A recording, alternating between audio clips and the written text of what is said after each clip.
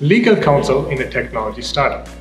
Some technology startups may consider having a legal counsel as part of their team. Why would they do that? This is to make sure that all the decisions that they're making are legal.